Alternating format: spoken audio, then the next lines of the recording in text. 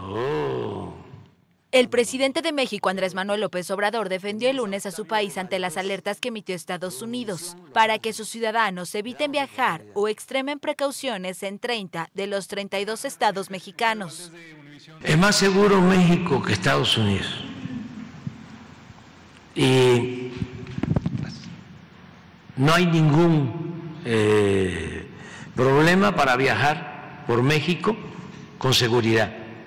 En sus alertas de viaje, el Departamento de Estado considera que solo los estados de Yucatán y Campeche, en el sureste de México, ofrecen seguridad. Si fuese así, no estarían llegando tanto estadounidenses a vivir a la Ciudad de México y a todo el país. Claro.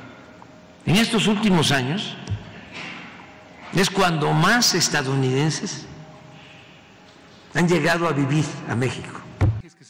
Las expresiones de López Obrador se producen luego de que el pasado 3 de marzo, cuatro estadounidenses fueron secuestrados en la ciudad fronteriza de Matamoros, en el estado de Tamaulipas, por presuntos narcotraficantes.